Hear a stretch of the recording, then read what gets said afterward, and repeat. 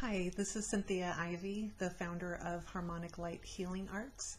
And I know in my last video I said I would talk about the law of attraction in my next video, but I changed my mind because I um, became inspired by the students of Stoneman Douglas High School in Parkland, Florida, to talk about indigo children, crystal children, rainbow children, star children, and star seeds. Um, because I feel like they kind of represent that energy um, really well.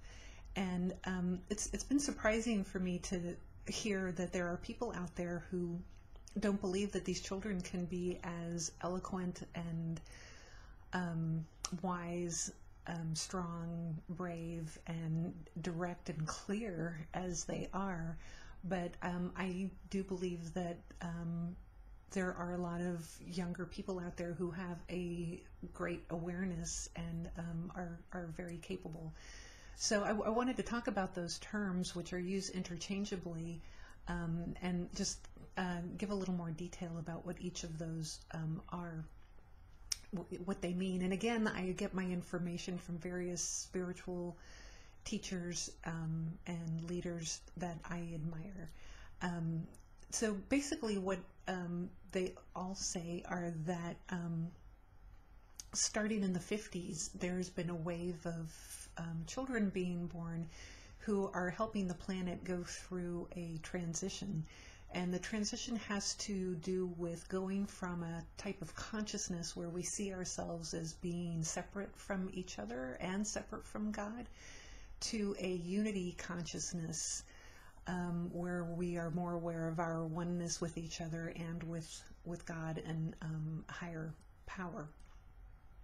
And um, and these children um, do this in various ways, um, from simply being an example of this, but also they are different from us in more tangible um, physical ways. Their vibration is different and their DNA is different as well. It's gone from a carbon-based DNA to a crystalline structure DNA and they tend to be more telepathic, intuitive, um, clairvoyant, and um, are much obviously uh, one of the um, they're much better with technology.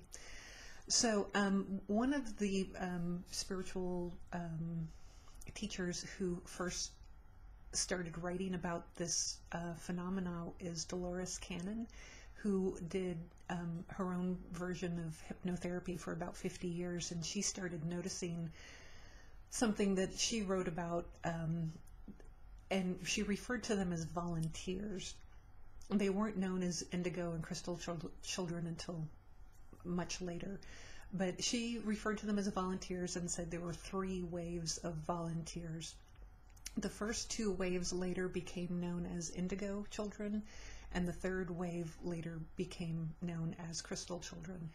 So the first two waves of, of, of indigos, the first wave was from the late 50s into the 60s, and these children were the trailblazers. Um, and it was very difficult for them to do so uh, for obvious reasons. They had to um, break down old structures um, of religion and spirituality and, and you know various traditions. Um, they, they, were very non-traditional um, types of people, and they often were seen as being either very angry or very depressed. And um, also were uh, had difficulty um, communicating. Um, a lot of the first wave um, volunteers either didn't speak at all or spoke very little as a child, and even as an adult um, had difficulty. And a lot of us are still around now, still have difficulty um, communicating. The second wave um, which are again re also referred to as indigos now, um, were born in the um, 70s and 80s. And although they were not trailblazers, they still had a somewhat difficult time um, because things obviously uh, the path had been cleared somewhat, but not entirely for them. And um, these children had um, also had a hard time adjusting to um,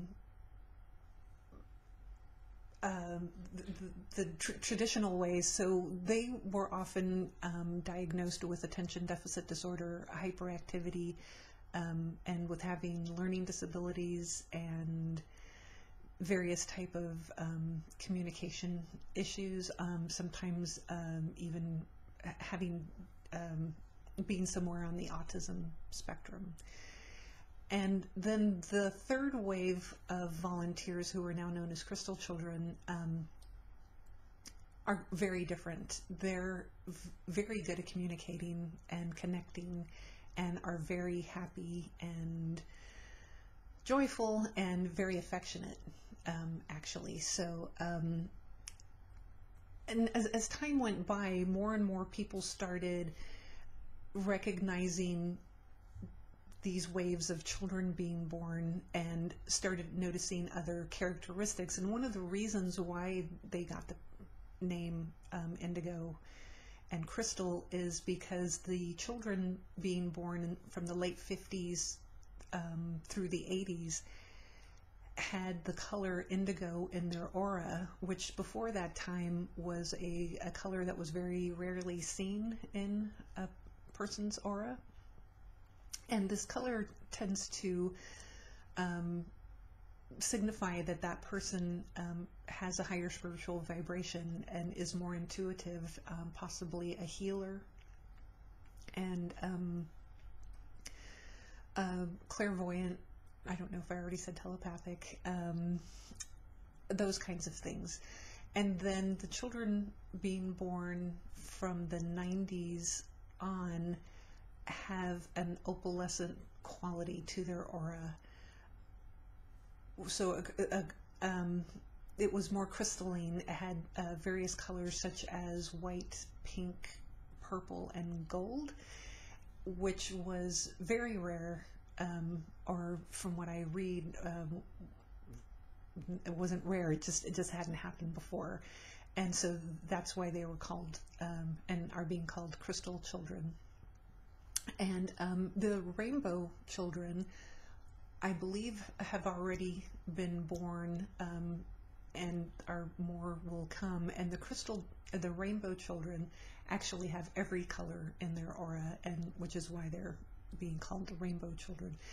But um, so basically, um, th- these children have come here to help with this transition and um, even though they have different qualities, they're all here to do the same job. And their um, just their very presence on the planet is changing everybody else's um, consciousness and their level of spiritual vibration and upgrading their DNA. As I said earlier, um, our DNA has traditionally been carbon based and is um, becoming um, a crystalline based um, DNA. And so the crystal children were born with that DNA upgrade already. But just simply by their presence on this planet, they're helping everyone else's DNA to upgrade to this crystalline structure as well.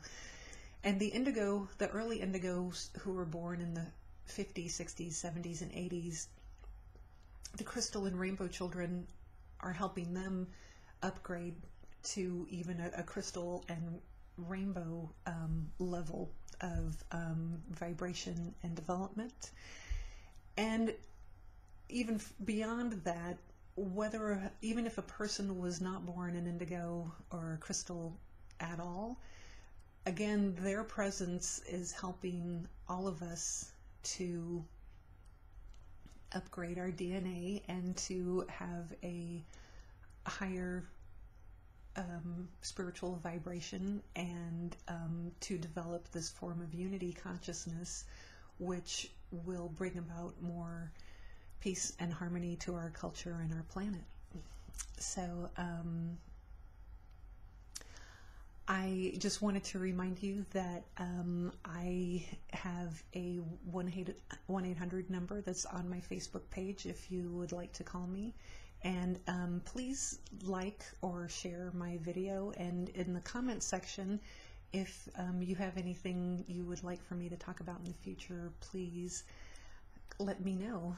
And um, I believe I my next video will be about the spring equinox, and I look forward to seeing you then. Thank you.